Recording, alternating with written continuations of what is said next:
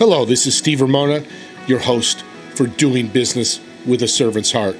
I want to thank our sponsors, Infone, and with Infone, you can place your business on everybody's cell phone, turn their business into a web app, and with a click of a button, they'll have access to you 24 7. And also Pantheon.fm.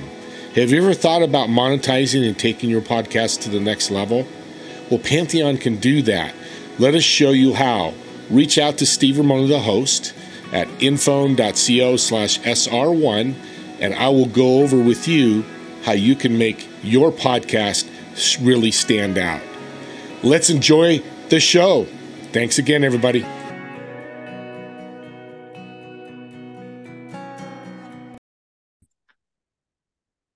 Welcome, everyone, to Doing Business with a Servant's Heart podcast. And I want to announce we just hit 200 shows. This is show 201.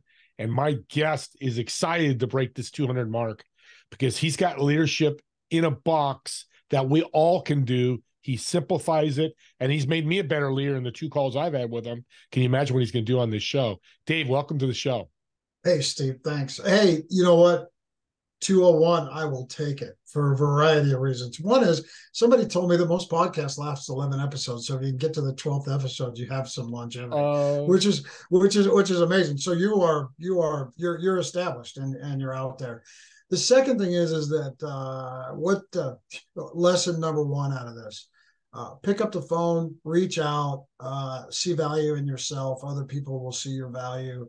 The connections will happen. The conversations will happen. You'll hear something you've never thought of. You'll probably give somebody some. You'll give somebody a nugget that they can use, and then the networking starts. And as we were talking about before we started, uh, what a magic thing that is! Because when you're feeling down or feeling a little lonely in this journey, whatever it is, whatever it is, just even in basic life, sometimes people pop in and they change everything. They change the whole dynamic. They change the energy and those type of things. And and so uh, you're changing energy, brother, and we're going to do that. So let's let's get after it. Thank you, Dave. I, I appreciate that, and you're right. It, it, it's a big difference. It's changed my life. I know it's changed yours. I, I want to jump into the book because I love the title. It's sure. catchy, but you'll sure. never forget it. What's the name of the title? What's the title of the book? And, when, and tell me more. Yeah, well, when when the cows lie down, Hmm. And and the subtitle is why people quit you, their leaders. Uh, there's a couple things there. When the cows lie down, derived from my rearing as a farm kid in Northern California on a dairy farm. And I've always said, uh, and that's something you can relate to, right, Steve? So I've always said that I've always said that everything you need to learn in life, leadership, love, uh, you know, just kind of growing, you know, and, and, getting to be the person that you want to be, and then and then to a point where you can give back, because you know that's my mission on a on a variety of levels. Is uh, you can learn it on the farm, and one of the very subtle lessons on the farm that that always made me chuckle uh, was the cows, because you know on a dairy farm you got to go get the cows twice a day, bring them into the barn and milk them and the cows are in all different arrays. On, on those hot northern california days when it's 116 the cows are probably all standing in the water right? And, and on those cold misty days or uh, you know when the last bale of hay you threw in the field for them to eat is in the far far corner they're all down in the far corner but there's those there's those off days where all the cows are lying down and it's usually around some spindly little tree. And that's when you really need to stop slow everything down maybe change your routine a little bit and assess at you know in, in that instance assess the weather. You might be having a, a storm that's going to be a wind event a major rain event that might cause flooding hail events those kind of things and, and, the, and the cows know that i know there's scientists out there that refute that and barometric changes all i know is when the cows lie down, I stop what I'm doing and I look up in the sky, or I'll go get some information and say, why in the heck is that going on? And uh, oddly enough, it's usually true.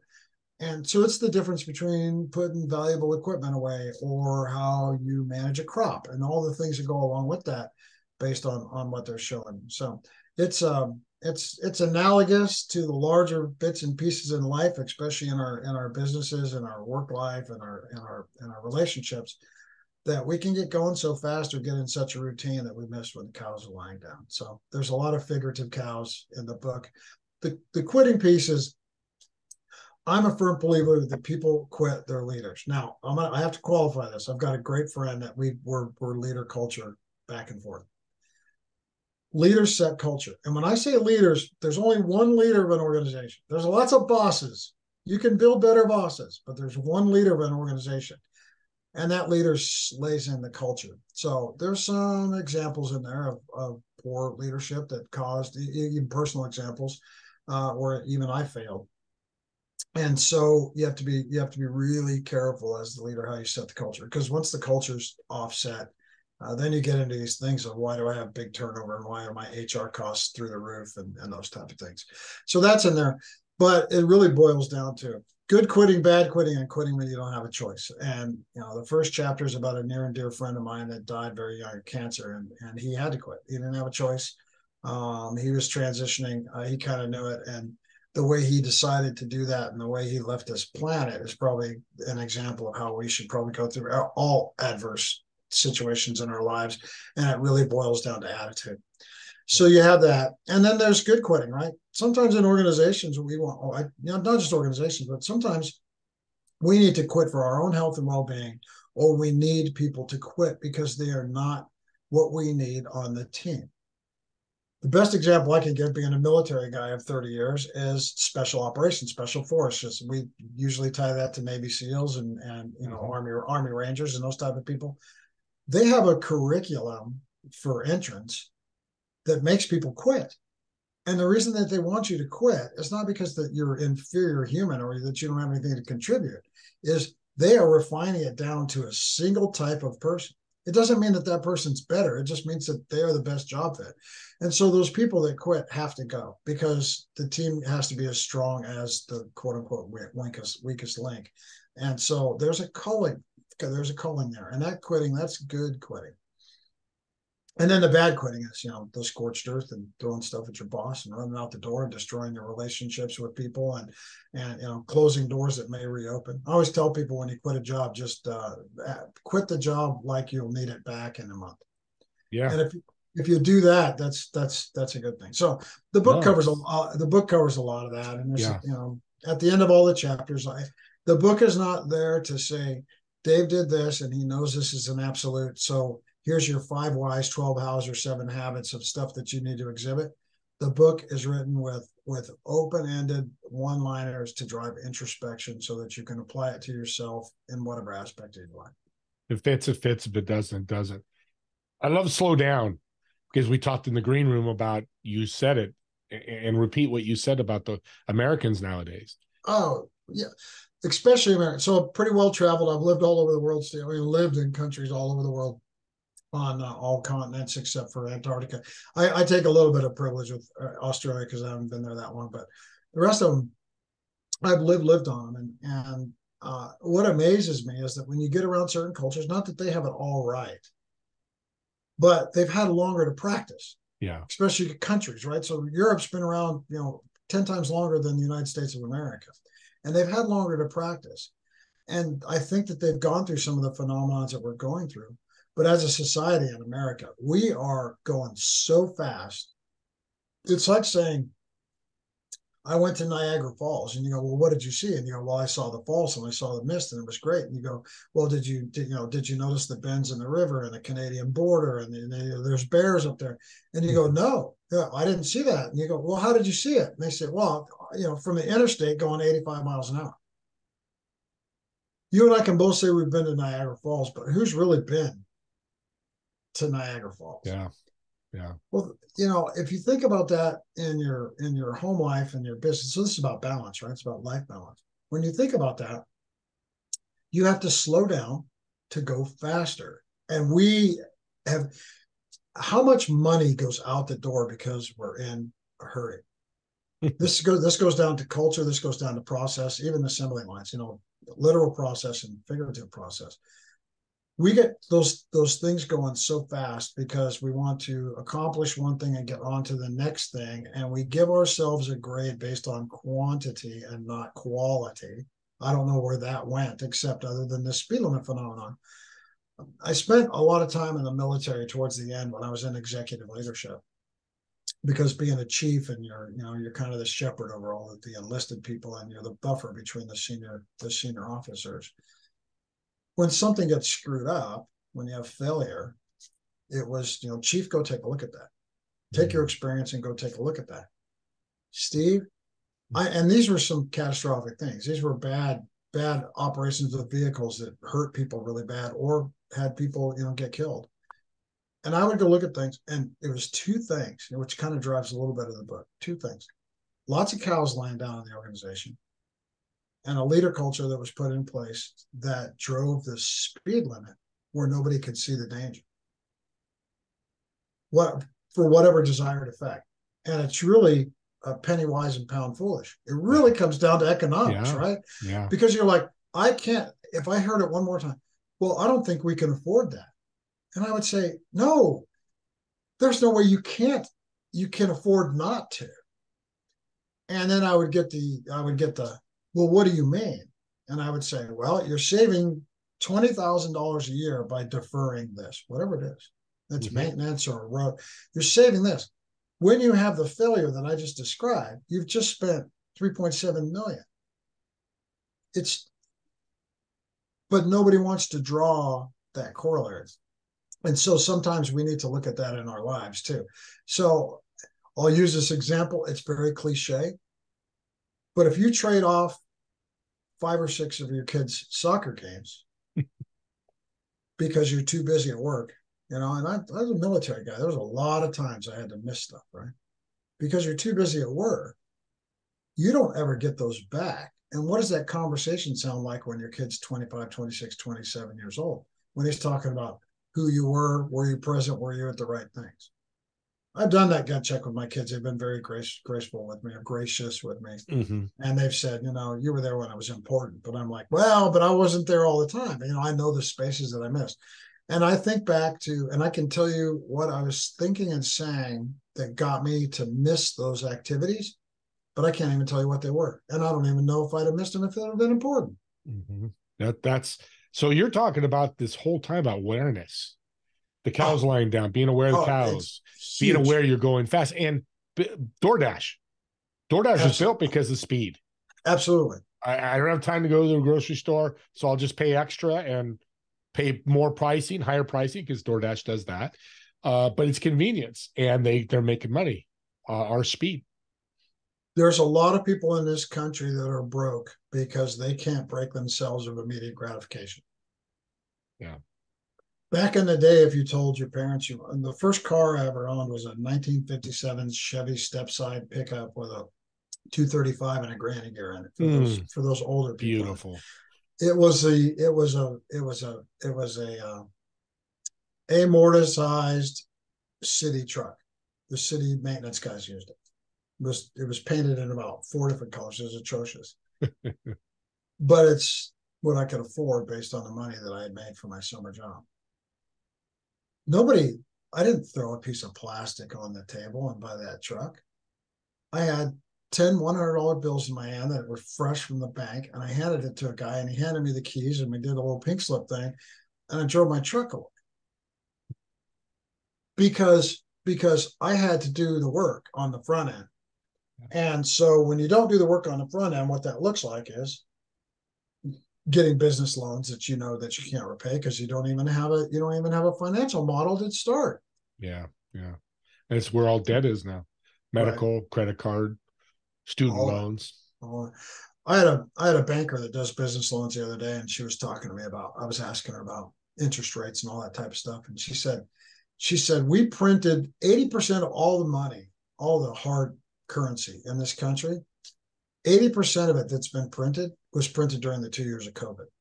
Oh, jeez. She said, "How do you get that back?" Think about that strategy. That strategy, that was that strategy was chosen. It was built on immediacy and instant gratification, and it did not tie to a long term. It had no long term uh, strategy tied to it. And now here we are, like you know, in our in our in our country now, like Braille, trying to figure out this new economic model because we changed it completely. Yeah. And then people people wonder why recession, no recession. You know, all of these numbers are not correlating with the numbers of the past. Yeah, because you have 80% of all the money's out there floating around and they don't know how to get it back. Yeah, that's that's a dangerous mode. we can we won't get into politics, but no, uh, it's the, no, it's it's just a thing. Yeah, it just is what it is. Leadership is about accountability. You talked about that in our first call. Sure. Talk about that. Well, and that's really oversimplified, right?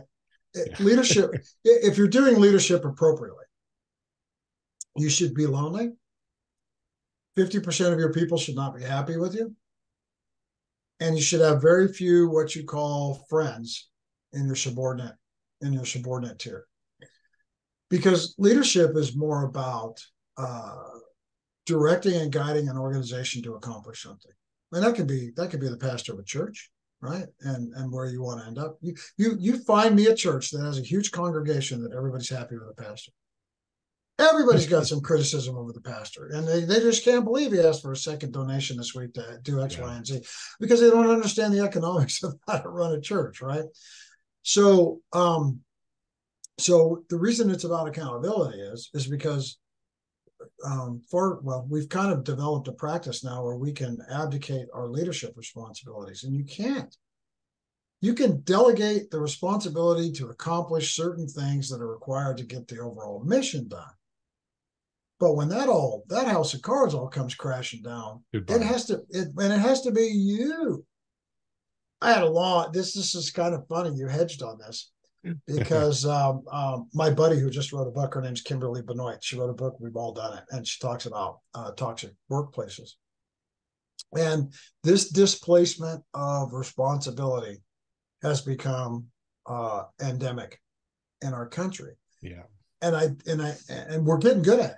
I mean, people actually have pre they, people actually have pre-built narratives on when they go to do something. They have pre-built narratives where they uh, have already made an excuse for the thing to fail, which means they didn't do the proper planning or or they don't you know they don't even believe in their own vision.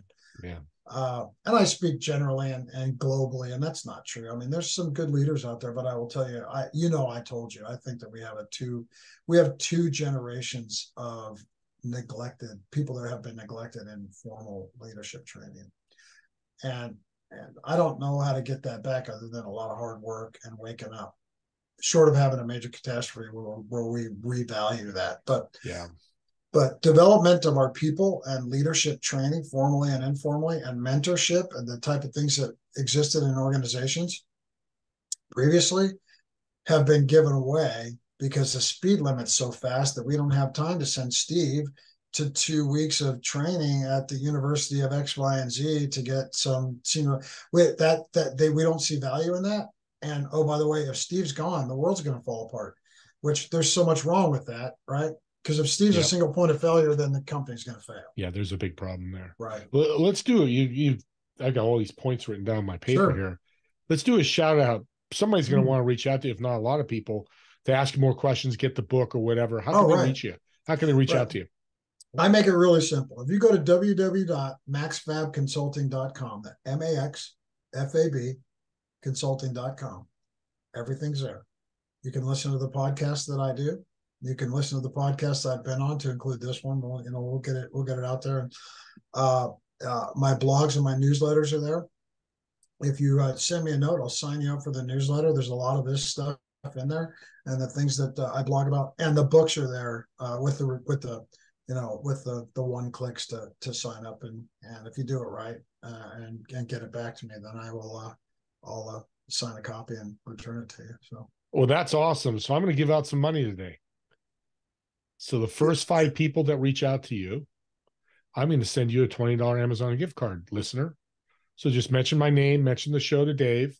He'll give me your contact, your email. It's all I need, and I'll send you a twenty dollar. No questions asked because what you're hearing is game changing for your business or for your life. Your husband, a wife, mm-hmm. we're leaders everywhere, mm-hmm. and we don't realize it. We need to mm-hmm. realize it. We need to realize when the cows have lied down that we've got to do something. That's why I love having you on. And it does say doing business with a servant's heart, but it's also doing life with a servant's heart, which is my other podcast I'm going to do. Right. They cross over so many times. Yeah. You have a military background, and we won't get into the story because I'm going to bring you back to talk about your story, which is great. Sure. Um, I love vets. If I had a company, I would hire vets. Ugh. What has the military taught you mm. that helps you in business? Wow. Well, you know, my passion now is vet ready, right? And that's working with civilian employers that don't understand. And this is not it's not a knock on people. It's just understanding a knowledge gap, and it's something we haven't filled as a country. So you know, my passion is is you know, if you're a business owner and you want, especially in this competitive environment with, with the way employment is right now, if you want veterans in your organizations and you really want to mine it, you really need to bring somebody in like me that can uh, school you up. You spend a lot of money trying to figure out how to lead millennials and Z's and do all those other things.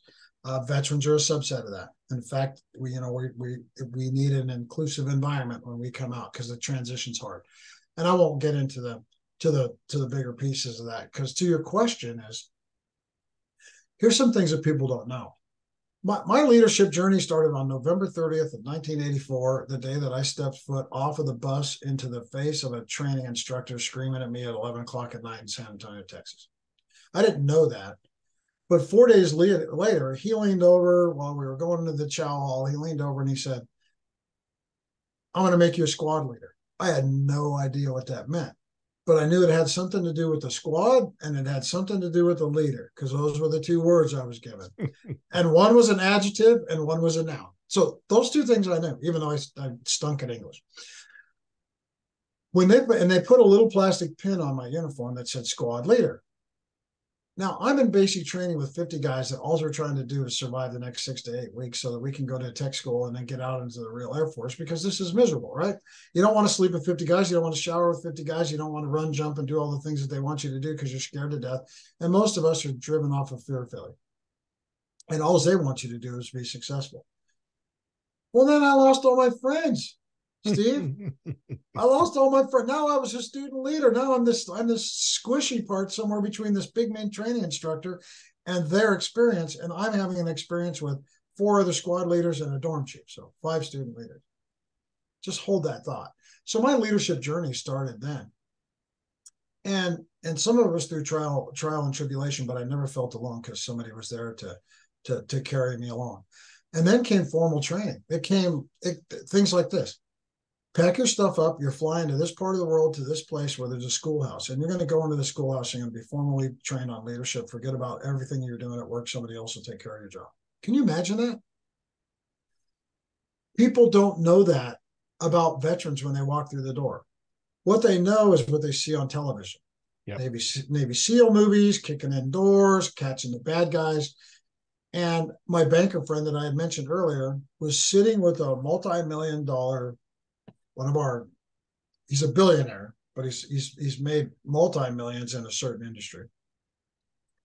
And we were they were talking about this phenomenon, and he was asked specifically, "Do you see veterans as high function?"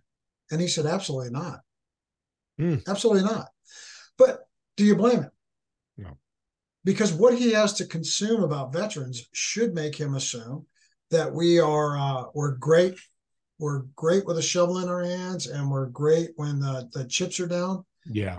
But we we're not we are not ready to walk into your C suites. We're not ready to be walk into your directorships. We're not ready to be in your strategic planning. We're not ready to help you set mission, uh, mission and vision, and and and uh, formulate a uh, you know a, um, a momentum and inertia, and to guide all of that. And most definitely, we're not qualified to lead civilian people because of that military thing. And that is so upside down wrong.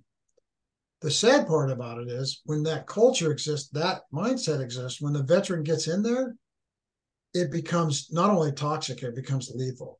That's a big word. I'm going to draw the line for you. When you leave the military, there's no bridge. We take mm. better care. We take better care of our incarcerated people when they get out than we do veterans. Thank you and I had this conversation. Yeah. Yeah. When you get out of the when you get out of prison and you're in the prison, you've got your own language and your own culture and your own routines. Not indifferent than the military. It's actually very synonymous.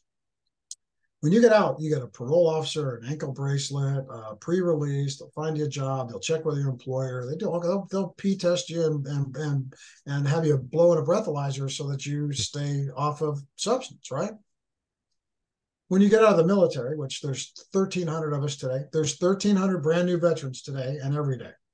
with their families. So that's mm. that's that's a small town of about where I grew up in Northern California, about 4,400 people. 4,400 people, and they go into the, these organizations, and what are they looking for?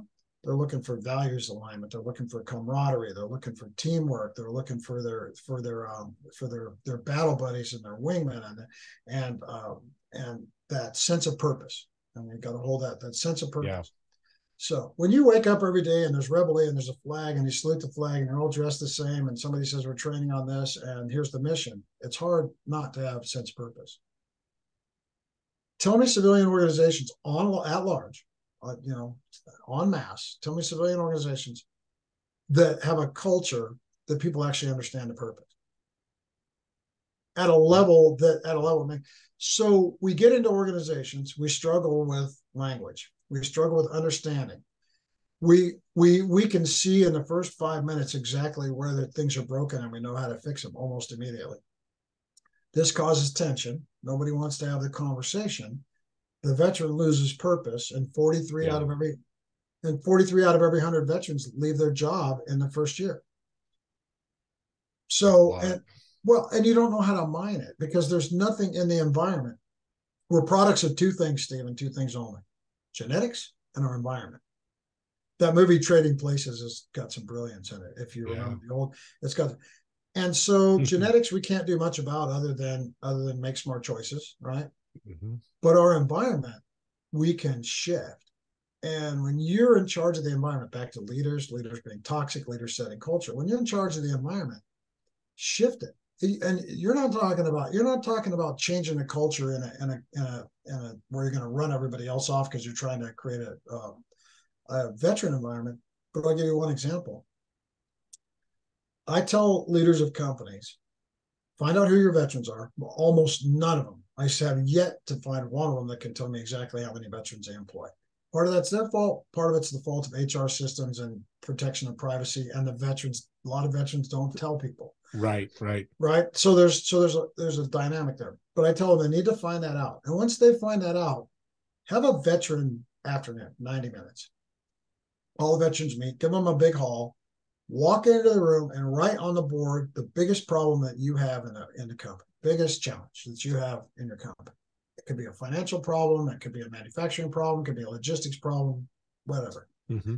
Write it on the board and say, here's a desired outcome and say, can you come up with some solutions? I don't care. In five minutes, they will have appointed a leader. In an hour, they'll have four viable solutions that you can use. Two of them you may have to refute because they didn't understand maybe some legal, med- no, legal, moral, ethical things. Outside stuff. But yeah. right, right. But you'll have four solutions you can use, and they'll spend the last half an hour coming up with the most ridiculous thing in the world just so because they have a sense of humor, and it'll be something that'll make you laugh and they'll have all of that for you. Powerful.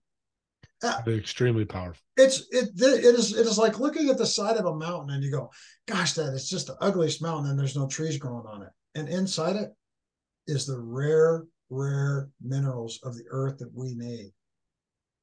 And I teach you how to mine it. So that's fantastic. Well, we're running out of time here. Yeah, I'm sorry, brother. No, no, never be sorry because content that that's good needs to be spoken and yeah. it crosses personal and professional i said that earlier yeah. but everything you said is is apropos for people right. and we can s- change it slowly but little by little but it's right. going to take time and we have to have patience amen so working just, with vets have patience you know where they came from treat them like everybody else that's just a label that was their job you know yeah. my job as a podcast host he went out to afghanistan or uh, yeah. wherever he went or she that yeah. was just their job. Let's not make it any different. Yeah. Treat them the same like yeah. you would treat anybody else. And I think we'd be on our way to a, a good uh, good path of of helping veterans. It's my goal as well.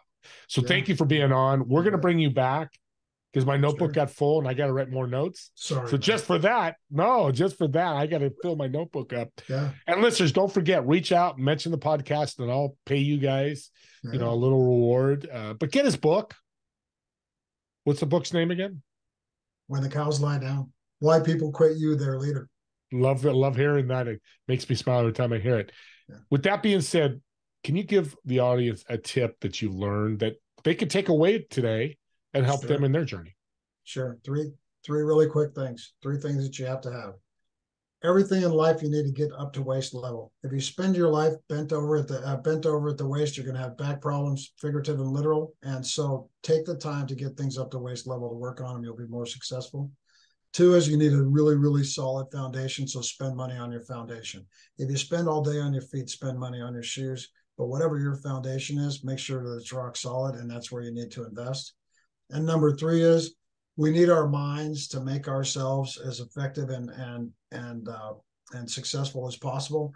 And what you put in your mouth affects your mind. So moderate, choose what you consume, figurative and literally, and uh, make that make the the healthy choices both figuratively and literally. And you know, if you can do those three things, you're off to a good start.